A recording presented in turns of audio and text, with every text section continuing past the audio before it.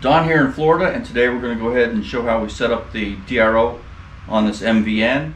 Reason being is I had a nice email from Leonard up in Virginia asking how I set this up and what scales I used, so on and so forth. So let's go ahead and rip it down, show you Leonard what I did. Okay, I'm back. I just spent about five minutes trying to get that double back sticky tape out of there and that stuff is not coming out. That is some bad, bad stuff. I think I'd probably have to heat that up real warm and soften it before I could get that out of there. So we're getting a little bit of a no-go here. Uh, instead what we'll do is let's get down underneath. Okay, so this is looking up from underneath. And this is the 650 millimeter scale that goes on the x-axis. Let me take that down and as you can see it's it's just screwed in. Like I don't know if we can see the screws here. It's just screwed directly into the lower edge of the bed here. And if you follow it down you can see right there the sensor. And the sensor or the pickup is right down here on the y-axis portion because this has to be held solid. There was originally a stop right there. You can see the hole for the stop. That stop had to come out and these are the stop ends right here. I just snug those right up against the end of the scale for extra security.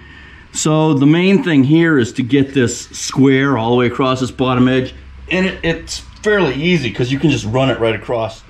You can use the bottom edge of the table as a guide to keep it square.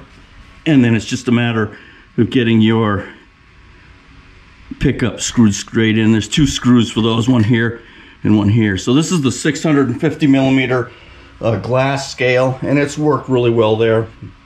Again, that guard, that's just not coming off of there. so this was fairly straightforward and easy to put in. It's gonna be the easiest one that you put in. And I ran the cable off on the right side of the machine because I was putting the DRO on the right side. Now you always got to remember your bed is actually longer than the complete amount of travel. So this bed here is a 36 inch bed. And I think the amount of travel is something like 20 inches. I can't remember. Let's let's go ahead and run it and find out. So let's go ahead and so let's go ahead and simplify this. I'll just mark directly under the chuck here. And then we'll just move it off the other direction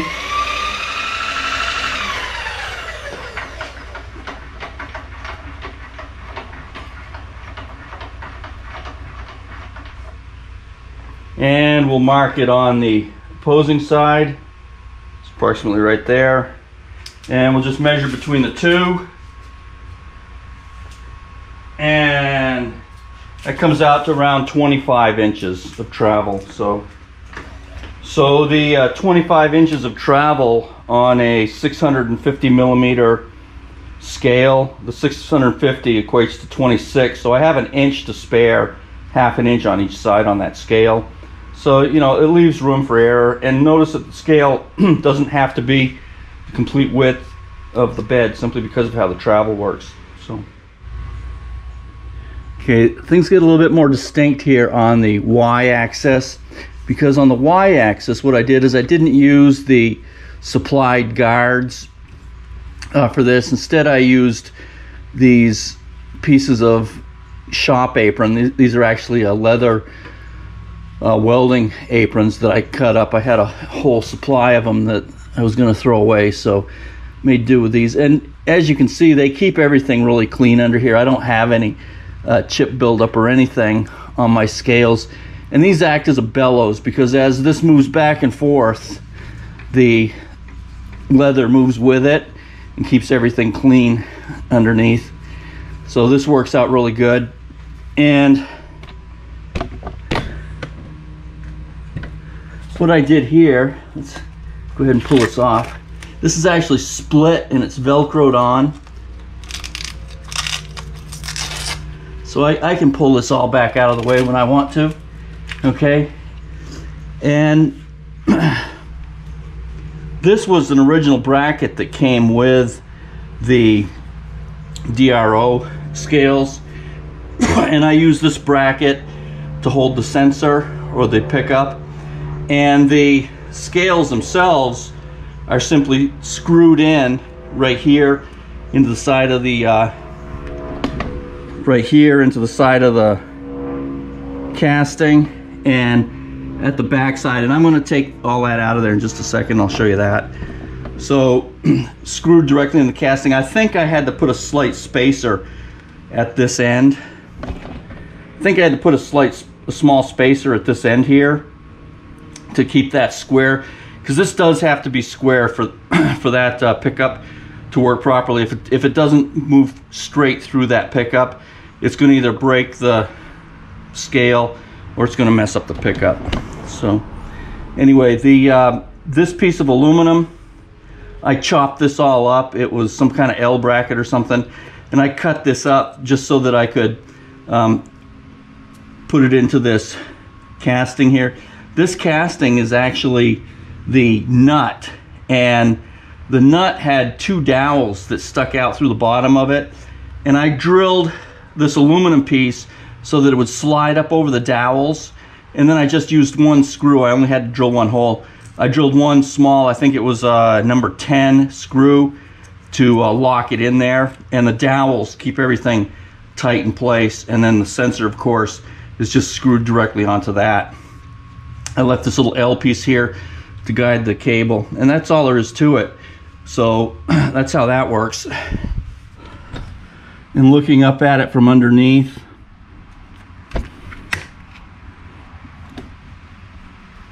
You can see the pickup rides with the y-axis this way. Again, if I get back here, I guess I can't see it. The, the dowels are actually underneath here. You can't see them.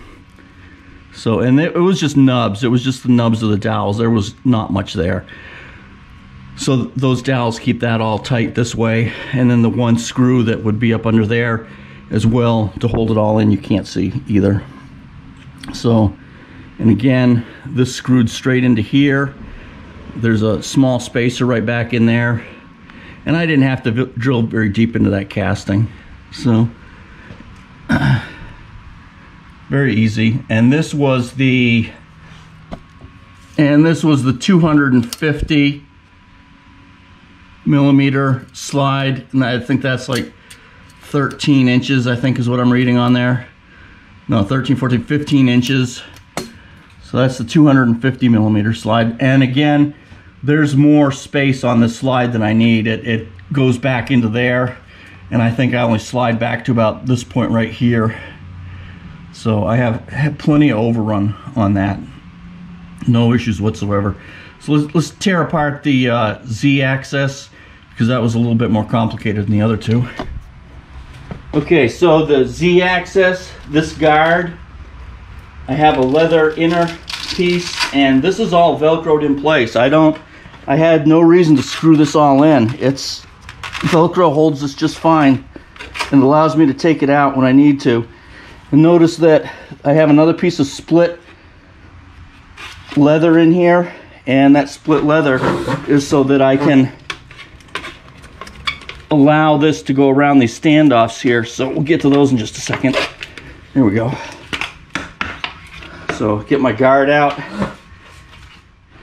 Okay, so this is the 400 millimeter or 16 inch Travel up and down is only 14 or 14 and a half inches, and I don't even think I use all that travel, simply because when you put a, a collet or a chuck or something in there, it, uh, it takes up space. So on this one here, I use standoffs right here, a couple of half inch uh, slugs. I threaded them at the end and threaded them straight in, and then I put my sensor right on here. Now a lot of guys will put these way outboard like this, either here at the the uh, y-axis or down here at the z-axis. I like to keep everything in nice and tight and as you can see from the half inch standoffs I like to keep everything nice and rigid because if you keep this all rigid and you keep it tight it's going to be more accurate and it's going to give you less less issues up the road um, when you when you start talking about you know these these long thin pieces of aluminum to hold things together it, it gets a little wonky after a while so I prefer just to stay away from that notice I also put in a offset Zerk fitting here so I could put oil in this uh, with the guards in place. So um, here at the top, I had to make this fancy standoff here. This was a nut off a Cummins exhaust manifold. And then I, I made this all adjustable here. I put a, a standoff collar and then a screw through here. And this allows me to adjust this forward and back like this. And this is necessary because you have two adjustments on this Z axis. And I say two adjustments because the contour of this doesn't allow for any flat, straight surfaces. So this Z axis has to be completely adjustable. You're gonna have to put a dial indicator on there and run this between the dovetail area here and the slide and you're going to have to run it to get it this way correctly, left and right, as far as forward and back this way. Uh, knowing that in advance, I made this all adjustable so that when I was running my dial indicator, I could simply just loosen and tighten, loosen and tighten until I got it where I wanted. And this keeps the stress off the sensor here. Looking down at the bottom, again, I used an original plate that came with the kit. I just chopped it up. And here and here I screwed it straight into the frame or into the casting. And then what I did was knowing that I had to adjust this this direction as well see that's free to float up there because it's it's round. It'll move back and forth this way because it's on that screw so I, I just had to worry about the in and out there down here because the in and out was already taken care of I had to worry about the back and forth of the squareness of this in this direction. So what I did was I put two adjusting screws in here and here. And when I snug these down, then I can take these adjusting screws and tighten or loosen up on them and tighten and loosen on these back and forth until I get the squareness this way. So I, I want this sensor to ride perfectly square. So having all that adjustment allows for all that. So standoffs to hold the pickup and then adjusters here and here. Again, I use the original guard that I just showed you that I took off in place, but I, I chopped up a, another piece of guard, made a top section there, and then I use the leather around this so as I don't have anything trying to escape back here. And I haven't had any issues with chips getting in here and messing with anything. Matter of fact, this has been on here for a few years now, and even as I take the guards off, it still looks like brand new. So I'm pretty happy about that. Again, Velcro to hold everything in place. So it's worked out well. But that's about it. Uh, just make sure everything's uh, square and use a dial indicator to do that. Matter of fact, let's demo that. For example, here, if I run the Z-axis up and down this way with the dial indicator against this face, it allows me to adjust this in or out this direction, in or out this direction. If I move the dial indicator to the outside or the inside, inside would be difficult, but if I moved it to the outside, again, as I move this up and down, I would be able to tell if it's canted in or out like this. So that's how you'd want to do that. Uh, same thing here, you can run the dial indicator right across the underside of the scale to make sure that you have it correctly positioned up and down this way. And this this actually is very easy as well because once you have once you have the pickup in place and you slide it in, this basically falls where it wants to be. And initially I just put a screw in one side, ran my dial indicator, and it really only was off maybe a thousandths or two. And uh, it was very easy to dial in. So, okay, all back together, nice and clean. The cables run right through this single loop. Again, I have them Velcroed to the back of the machine. No sense drilling more holes than I have to.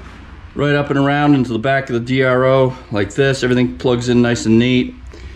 And I went ahead and bought a Ditron D60-3 and this has more on it than I'll ever use here at home. But it is a very intuitive to use uh, DRO. I like it a lot.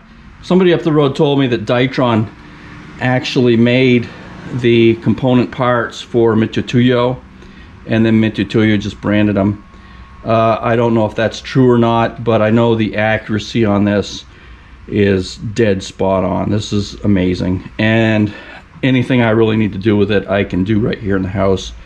Um, you know, I, it's beyond what I'll ever need here.